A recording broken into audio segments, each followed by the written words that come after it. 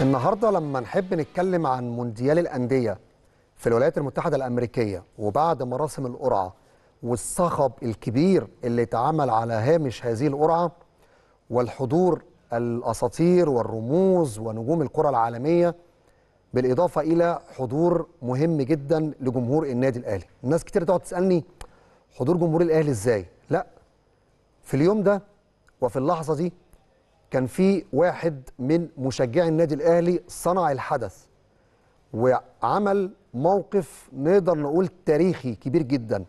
لأن في ظل ما أنت متواجد ب 32 نادي يجي لك مشجع أهلاوي منتمي للنادي الأهلي مقيم في الولايات المتحدة الأمريكية ومعاه علم النادي الأهلي مكتوب عليه الشعار الأساسي نادي القرن. قدامكم الصورة اللي كانت لفتت انتباه كل الأوساط وكل الحاضرين. لدرجة حتى أن الصفحة الرسمية للنادي الأهلي خدت الصورة وكتبتها على الصفحة الرسمية أو حطتها على الصفحة الرسمية للكابتن أو الأستاذ هشام طه كبير مشجع الأهلي في أمريكا جياني إنفانتينو السويسري رئيس الاتحاد الدولي ويوسف هشام طه نجل الأستاذ هشام طه. الصورة دي صنعت الحدث في هذا المحفل التاريخي. النهارده لأن برنامج الترند لازم يكون معاه صناع الحدث. مين صناع الحدث النهارده؟ الأستاذ هشام وابنه نجله الكابتن يوسف اللي صنعوا الحدث والنهارده كمان هيصنعوا الحدث معانا من خلال برنامج الترند وعبر السكايب من خلال trend online موجودين معانا على الهواء مباشرة من الولايات المتحدة الأمريكية. أستاذ هشام تحياتي ليك وتحياتي أيضا ليوسف. تحياتنا تحياتنا لحضرتك جدا يا كابتن محمد. سعداء بوجودكم معانا النهارده وأكيد المشهد اللي يعني رسمتوه في هذا اليوم والسعادة اللي كانت عند جمهور الأهلي بوجود علم الأهلي وشعار الأهلي. أكيد حاجة كبيرة جدا بنشكركم عليها لأن أنتوا أكيد كان عندكم فكرة مختلفة تماما عن أي مشجع لأي نادي مشارك في هذه البطولة. اولا يعني أنا سعيد جدا إن أنا مع حضرتك دلوقتي وفي الله يخليك. في قناة في, في بيتي في بيتي طبعاً. فعلا يعني في قناة النادي الأهلي اللي هو بيت كل الأهلاوية. يعني عايز أقول لك كان تفكير مختلف. إحنا حبينا نفكر بتفكير شوية و... والحمد لله يعني إن ابني كمان ساعدني في ده كتير يوسف ما شاء الله. ف طبعا يوسف هنا الحمد لله يعني هو متواصل هنا مع ناس أصدقاء ليه في الفيفا وكلام من ده.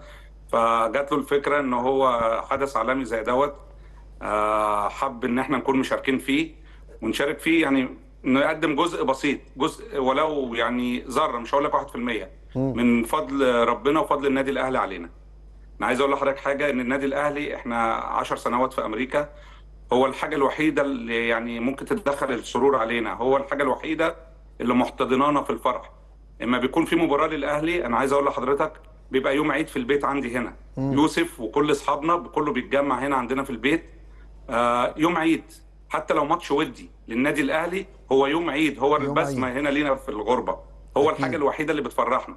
عايز أقول لحضرتك لو إحنا لو ابني متضايق أو أنا متضايق شوية عادي يعني في أمور الدنيا ننزل نركب عربيتي وأدورها وأشغل أشغل أغاني النادي أغاني الأهلي. الأهلي. آه بالظبط. أغاني الأهلي كلها عشان بتخرجني تدخلني بقى في مود سعادة تاني.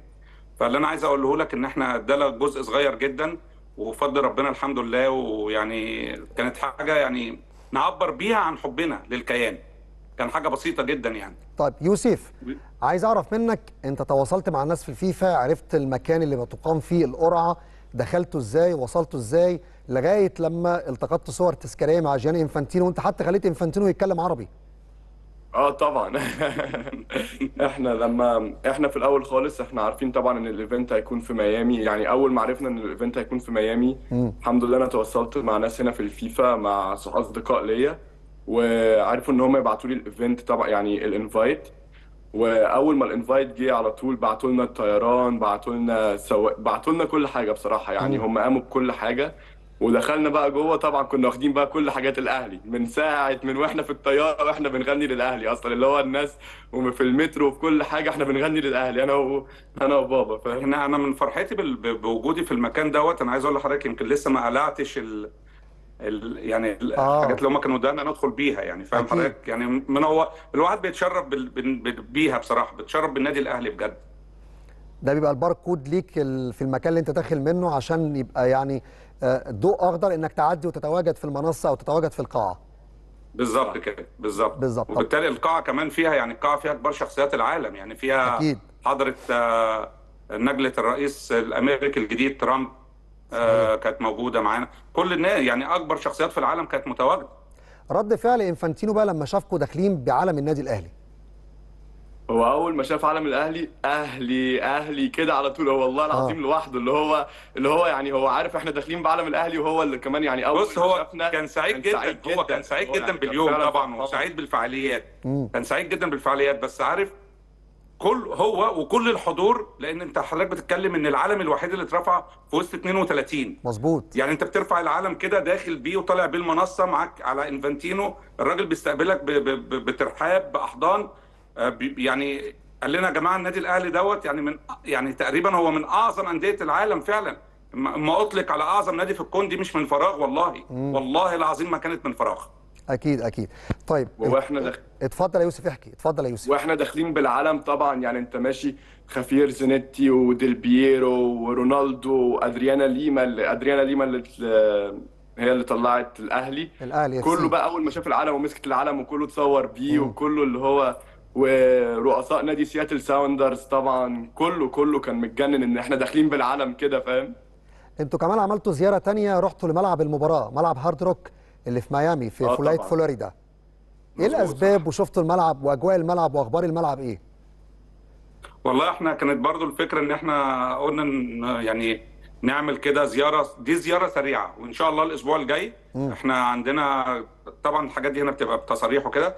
فإحنا الحمد لله ربنا وفقنا جبنا تصريح نقدر ندخل الملعب بقى جوه ونصور غرف الملابس هنصور الملعب هنصور يعني يوسف هيبقى ماسك تصوير المدرجات كل حاجة كل حاجة صغيره كل التفاصيل صغيرة وكبيرة داخل الملعب. أوه. فهي الفكرة جت إن إحنا بس عايزين يعني نقدم حاجة للمشجعين إن هم هيقدروا إن شاء الله يجوا إن هم نشجع يعني كل الناس هنا حتى في أمريكا. يوسف ما شاء الله عنده يعني ناس كتير جدا جدا دلوقتي عايز تحضر المباراة أمريكان. يعني أكيد ناس صحابه امريكان. عايزين يحضروا معانا المباراة بأي طريقة. آه آه أكيد.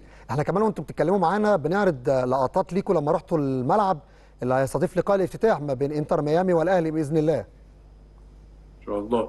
والملعب طبعا الملعب دوت اللي حصل فيه مشاكل يوم ماتش الأرجنتين وكولومبيا. هو ملعب كبير في جدا يتسع يعني كوبا أمريكا. 65 ألف متفرج. مم. آه في نهائي هو اللي حصل فيه نهائي الكوبا أمريكا. وسبحان الله الأهلي خد أحسن ملعبين في أمريكا. MetLife Stadium في نيويورك وال Hard Rock Stadium دولت الملعبين دولت يعني من ناحية إيه يا يوسف. طيب من ناحية إيه؟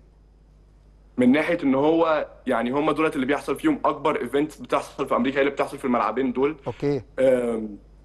أكبر هم أكبر ملاعب في أمريكا. يعني إحنا وإحنا داخلين أصلا الملعب أنت بتتوه في الملعب. يعني أنت مش عارف تروح فين ولا فين ولا مم. يعني الملاعب فعلا مجهزة كمان. مجهزة بطريقة كمان غير طبيعية مجهزة بطريقة مستوى. جميلة جدا. على أعلى مستوى. اعلى والناس مستوى. والمنظمين فعلا على الحدث ناس آه، ناس جميلة. يعني اللي أقدر أقوله لك ناس جميلة أجمل. جدا جدا. والله أنتوا وبيبقوا أجمل. ما يعرفوا إن أنت مشجع للنادي الأهلي.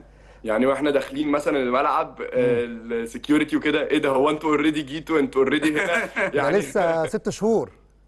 لسه ست شهور وأنتوا آه. already هنا وبدأوا يصورونا و... أنتوا عاملين حاله جميلة بس عايز أسألك برضه على حاجة مهمة جدا. أنا شايف في خلفية الصورة تيشيرت حسين الشحات وتيشيرت ميسي. من بدري محضرين لقاء الافتتاح.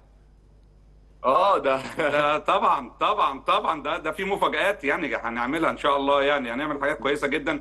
أنا بقول لحضرتك ده تعبير صغير ما يكملش 1% من حبنا لبيتنا لحبنا للنادي الأهلي. طب آه. كويس قوي. آه، ال- الجالية المصرية أو الجماهير المصرية الأهلاوية تحديدا كمان موجودين في ميامي بعدد كويس؟ رايحين مثلا نيويورك نيوجيرسي بعدد كويس؟ ولا إقامتنا في. الولايتين دول أو المدينتين دول تحديدا يساعد إن يكون عندنا جمهور كويس في المدرجات بعدد كويس ولا القصة بعيدة شوية؟ طبيعي جدا طبيعي جدا إن آه، ميامي ممكن الجالية شوية مش كتير زي ما إحنا متخيلين بس طبيعي جدا إن ده مباراة الافتتاح. طبعا ده حاجة تاريخية حدث تاريخي فأنت طبيعي جدا الملعب هيتقفل. ده طبيعي جدا يعني ده ده شيء يعني إيه، يعني أكيد هيحصل. حد مش عايش في ميامي هو أنت تلاقي من كل من كل الولايات. في ناس آه. جاية عشان تحضر الماتش ده مخصوص. بس ونيويورك ونيويورك ونيو جيرسي بقى دول ما يعتبروش ولايات أمريكية دي ولايات مصرية. مصرية. يعني من حسن حظ. الأهلي إن المباراتين في الجولة الثانية والثالثه في نيو جيرسي. أكنه بيلعب في بيته كأنه بيلعب أكنه في. استاد القاهرة. الله. ربنا يبشرك بالخير. يا رب إن شاء الله بإذن الله. يخليك. يا رب إن شاء الله فعلا هم مش ولايتين يعني ولايتين أنا بقول بقول لك بصراحة يعني ولايتين فعلا المفروض ولايتين مصريين. مصريين هناك ما شاء الله. ماشي في نيويورك. شعب مصر كله ماشي في هناك. نيويورك أو نيوجيرسي اعلام الأهلي مت- مت- يعني محطوطة في كل حتة وإعلام. مصر ومصريين وبجد والله. طيب أرسين فينجر الظاهرة رونالدو أبرز تعليقاتهم كانت معاكم إيه؟ طبعا رونالدو اتكلم على بالميريس وقعد يهزر إن بالميريس ممكن يكسبنا ومش عارف إيه وإن المجموعة مش سهلة. بس هو كان مبسوط طبعا إن بالميريس هيلاعب الأهلي تاني.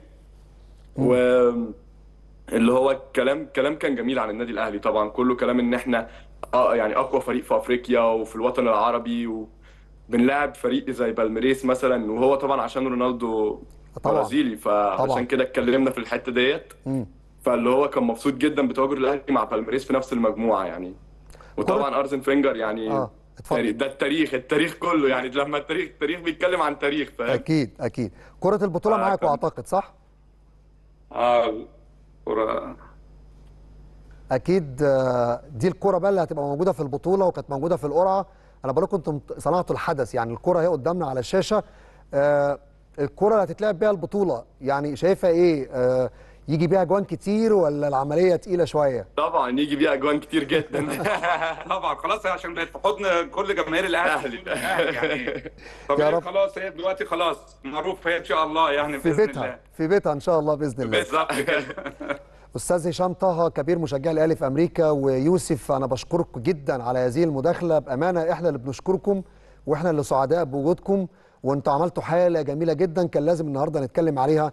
من خلال ترند أونلاين عبر برنامج الترند. كمان موجود واحد من الأهلاوية الكبار جدا الأستاذ ماجد مسعود موجود في الولايات المتحدة الأمريكية. الفترة الجاية هتشوفوا وتسمعوا عن أهلاوية كتير ويعني قايمين بأدوار مهمة جدا لغاية لما الأهلي يسافر إن شاء الله بإذن الله ويلعب في شهر 6 من العام المقبل 2025 تروح المغرب تلاقي أهلاوية تروح قطر تلاقي أهلاوية. في أي حتة في العالم هتلاقي جمهور النادي الأهلي موجود في كل مكان.